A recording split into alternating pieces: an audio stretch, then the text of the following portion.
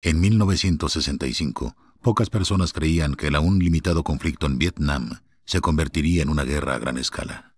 Un piloto estadounidense es enviado en una misión secreta a Vietnam y es atrapado y torturado brutalmente por el enemigo. Pero este astuto soldado muestra su ímpetu, camuflándose entre la espesa vegetación hasta conseguir su rescate al amanecer. Aviones de combate sobrevuelan una zona agrícola a mitad del día, lanzan bombas por los campos y destruyen todos los cultivos y viviendas a su paso. Es el año 1965 y a bordo de un buque de guerra en el Golfo de Tonkin, el teniente llamado Dieter Dengler y su escuadrón naval están a una sesión informativa previa a una misión importante. El almirante les explica que deben sobrevolar la parte norte de Vietnam para cortar la línea de suministro del enemigo. Como la misión es clasificada, se les recuerda que no deben hablar de ello con nadie, ni siquiera con sus familiares. Para prepararse para su misión, les colocan un cortometraje sobre cómo sobrevivir en la naturaleza. El video muestra escenas explicando cómo esconderse entre las hojas o llamar la atención de un avión. El video tiene otros consejos útiles para sobrevivir, pero los soldados lo encuentran ridículo y de poca utilidad. Solo sus risas se escuchan dentro de la habitación. Mientras el grupo se alista para la misión, se les permite solicitar ajustes en el equipo y las raciones que llevan consigo. El protagonista pide una solapa secreta en sus botas tácticas, con el fin de ocultar su pasaporte durante la misión. En la sesión informativa final, el líder del escuadrón da unos últimos recordatorios sobre la seguridad de sus operaciones. El almirante advierte al escuadrón contra el uso de la radio militar en el campo, pues si lo usan en pleno combate, el enemigo puede interceptar sus señales de radio para atraer a los rescatistas a una emboscada. Durante la reunión, el teniente Dieter es elegido para liderar la misión. Llegó el día. Nuestro protagonista y sus mejores amigos realizan un antiguo ritual, en el que juntos apoyan la frente en la pared mientras se desean buena suerte. Es un símbolo de hermandad y lealtad. Cuatro aviones de combate despegan en diferente dirección a Laos, en el norte de Vietnam. Cuando el escuadrón llega, comienza a bombardear el área designada. Los lugareños responden inmediatamente. El avión de Dieter es alcanzado por el fuego enemigo y comienza a caer. Mientras el lado izquierdo de la aeronave empieza a despedazarse, nuestro protagonista utiliza sus grandes habilidades de piloto para realizar un aterrizaje forzoso. El avión termina hecho pedazos, mientras el piloto consigue saltar antes del impacto a un lugar seguro en el suelo. Los enemigos de Laos ya vienen por él, por lo que corre por el campo para esconderse en la jungla. Recordando el video, se esconde debajo de un montón de hojas secas y no sale hasta que los soldados enemigos se van en otra dirección. Recuerda lo que su superior le dijo y deja su radio debajo de un montón de vegetación antes de adentrarse más en la espesa jungla. Al cabo de un rato encuentra una estructura vacía donde pasar la noche y roba la poca comida que encuentra en un recipiente. También comienza a dormir en su bolsa de plástico pero siempre cubriéndose con hojas para pasar desapercibido. A la mañana siguiente se oyen en las cercanías el motor de un helicóptero militar. Él es cauteloso, por lo que antes de salir de su escondite, debe escabullirse hasta un sitio seguro.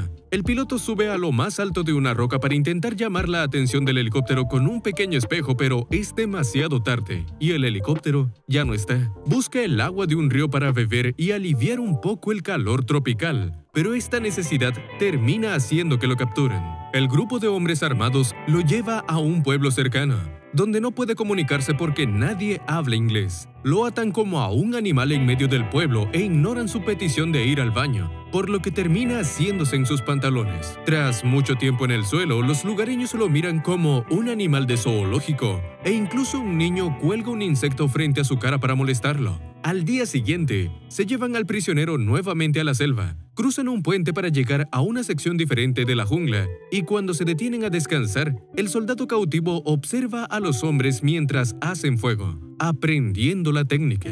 De vez en cuando pasan helicópteros, pero cada vez que esto ocurre, los hombres arrastran a su rehén entre los arbustos para evitar ser vistos. Durante estos descansos, los captores aprovechan para atormentar a su prisionero, lo amarran contra un árbol y disparan sus armas, fallando intencionalmente. Cada estruendo lo deja temporalmente sordo, y esto es algo que les divierte a sus agresores. Después de andar mucho tiempo en los campos y bajo las narices de los helicópteros, llegan a otra aldea y suben al teniente en un camión para llevarlo a la capital de Laos. Ahí es arrastrado a una casa elegante y se encuentra con el gobernador de la provincia. A diferencia de los soldados, el gobernador habla inglés y trata al hombre extranjero con una sospechosa amabilidad e incluso le ofrece un poco de agua, sabiendo que la necesita. Al principio, Dengler intenta ocultar que es un oficial de la Armada estadounidense, pero el gobernador se da cuenta de que está mintiendo y a él no le queda de otra que admitir la verdad, mostrando su pasaporte que había escondido. Luego, el dirigente le ofrece seguridad y libertad si acepta firmar un documento que condena a Estados Unidos y a su guerra contra el pueblo laosiano. Cuando el prisionero se niega a ir en contra de su propio país, el gobernador ordena a sus hombres que se lo lleven porque ya es inservible. En castigo a su desobediencia, nuestro protagonista es atado a una especie de buey que lo arrastra salvajemente por todo el pueblo. Luego, es atado por los pies a un árbol quedando boca abajo para hacerlo girar y sacudirlo constantemente. Como si fuera poco, lo meten dentro de un pozo y lo sumergen bajo el agua una y otra vez. Tiempo después, el teniente es llevado a un campo de prisioneros donde le quitan los zapatos, le ponen una pesada atadura y lo empujan dentro de una choza para pasar la noche allí. El piloto comienza a escuchar voces que vienen detrás de la pared que le aconsejan que no se meta con los guardias porque son peligrosos. Al día siguiente, Dengler es liberado para pasear por el patio y así conoce a otros prisioneros de guerra, quienes ahora serán sus compañeros. Estos son JC, PCD y Proset, los cuales son extranjeros, mientras que Jean y Dwayne Martin son estadounidenses. Algunos de ellos llevan años aquí. Jean lleva al protagonista a dar un paseo por el campo de prisioneros para que se familiarice con los guardias locales. Estos se ven amenazantes a excepción de un pequeño guardia quien le sonríe gentilmente al nuevo prisionero. Dwayne se acerca al teniente para aconsejarle que si quiere sobrevivir, debe mantenerse en silencio y agachar la cabeza. Los prisioneros tienen la libertad para vagar por el campo por las mañanas, pero por la noche los retienen dentro de la choza con las manos esposadas y los pies atrapados en sus pesadas ataduras. Pueden hablar sin que los guardias los escuchen, lo cual ayuda mucho a que estos se informen. Dengler intenta convencer a los otros prisioneros de que se unan a él para crear un plan de escape, pero estos temen que los atrapen señalando que es una mala idea. Además, el intenso calor tropical de la selva les hace imposible sobrevivir sin agua, y que aún faltan unos meses para la temporada de lluvia, sin mencionar que para evitar a los guardias deben salir por la noche cuando estos no le vigilan. El sujeto persiste en su plan para convencer al grupo de que le ayuden a conseguir un clavo. Aunque no saben para qué es, siguen sus instrucciones y se dispersan por el campamento, lo que hace que los guardias los persigan. Solo el pequeño guardia sonriente se queda atrás y el prisionero le habla de manera amistosa para distraerlo mientras roba el clavo de una viga. Más tarde, en la choza, nuestro piloto usa algunas piedras para modificar el extremo puntiagudo del clavo y luego procede a usarlo como ganzúa en sus ataduras, permitiendo que el grupo tenga libertad por la noche. A la mañana siguiente, aviones de combate sobrevuelan el campo de prisioneros y esto enfurece a los guardias. En un ataque de rabia, uno de los guardias le dispara a Dwayne. Por suerte, la bala solo lo roza dejando una cicatriz a un lado de su cabeza. Luego, los guardias amenazan con disparar al soldado. Se puede sentir que los guardias tienen mucho miedo. A medida que pasan los días, el teniente aprende más sobre sus nuevos amigos y también comparten historias de por qué varios se convirtieron en pilotos. Si te está gustando el video, por favor, no olvides dejarnos tu like y suscribirte a nuestro canal, donde encontrarás más resúmenes de épicas películas. En la noche, Jin discute con el grupo, desconfía en la capacidad del soldado para hacer un buen plan, insinuando que solo provocará que todos pierdan la vida. Encima, amenaza al protagonista y a cualquier otro compañero que intente escapar, mencionando que los delatará para sabotear el plan. Por la mañana, un escuadrón de soldados vietnamitas pasan por el campo y revisa a los prisioneros. Una mujer soldado se percata de un trozo de vidrio. El prisionero le explica que solo lo utiliza para afeitarse, aprovechando la ocasión para coquetear un poco, y la mujer le corresponde. Aunque el sujeto recuerda que está comprometido. A la hora de su única comida del día, uno de los guardias se encuentra probando su arma cuando ésta se sale de control, dejando salir balas en varias direcciones. Todos corren despavoridos, pero el protagonista se queda sobre la mesa recolectando unos granos de arroz que cayeron de su plato. Ahí le surge una idea para asegurar su supervivencia y la de sus compañeros. Semanas después, los prisioneros deciden darle un detalle de feliz cumpleaños a nuestro protagonista. Le dan una bebida que hicieron con insectos y Dengler, conmovido por el gesto, decide devolverles algo a cambio. Les revela que hizo dos cuchillos con viejos casquillos de bala y aquellos que adivinen en qué mano los tiene, se los quedan. Confiesa que ha estado escondiendo un poco de arroz todos los días porque finalmente ha hecho un nuevo plan infalible. Él ha notado que los guardias dejan sus armas a la hora del almuerzo, por lo que cree que deberían robar esas armas y usarlas para tomar el control del campo de prisioneros y así enviar señales de rescate a los helicópteros estadounidenses. Todos deciden ejecutar el plan el 4 de julio, pues es considerado el Día de la Independencia en Estados Unidos, una fecha donde ellos también tendrán su independencia. Desde entonces empiezan a observar a los guardias para estudiar sus rutinas. Marcan las posiciones de los guardias y sus armas con lo que pueden para memorizar los lugares. Una noche, un guardia casi los pilla con las manos en la masa, pero se zafan fingiendo que es un juego que inventaron. Los cuchillos que hizo el piloto, los prisioneros, los usan para crear una trampilla de escape en el suelo de su choza. Dengler pasa con cuidado por esa escotilla para planificar el camino que seguirán e intenta aflojar una sección de la valla exterior. A medida que pasan los días, los prisioneros notan que la comida escasea. El guardia del cual se hizo amigo Dengler todavía le guarda una bolita de arroz escondidas, pero es cuestión de tiempo para que dejen de traer comida real. En su lugar, les sirven un plato de gusanos. Jin tiene mucha hambre y pretende comerse la reserva de arroz, mientras que su amigo le recuerda que él tiene el clavo. Y si se come el arroz antes de lo planeado, no le soltará las esposas para escapar con ellos. El protagonista está tan convencido de que su plan funcionará que no le importa comerse los gusanos. Un precio pequeño a pagar por la libertad.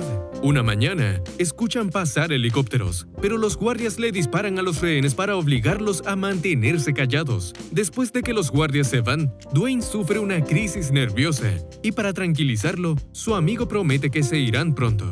Jay-Z puede hablar el idioma local, por lo que un día escucha a los guardias hablar y descubre que los planean matar a todos y hacer que parezca que intentaron escapar. Aparentemente, ellos también están cansados de la falta de comida y quieren finalmente regresar a sus propias aldeas. Para evitar esto, los prisioneros adelantan el día de escape y por la mañana entran en acción. Se han dividido en dos grupos. Dengler y Dwayne van en uno, mientras que Jean con el resto. Saldrán en direcciones separadas y luego se reunirán en la cocina para someter a los guardias. El teniente es el primero en salir de la choza, recoge las armas que los guardias dejaron atrás y velozmente las lleva de regreso con sus camaradas. Ahora que todos están armados, deben reunirse en el punto acorralado. Dengler y Martin llegan a la cocina, pero se dan cuenta de que son los únicos ahí y no son suficientes para someter a todos los soldados. Son encontrados, pero reaccionan lo suficientemente rápido para acabar con el enemigo, matando a todos excepto al pequeño guardia,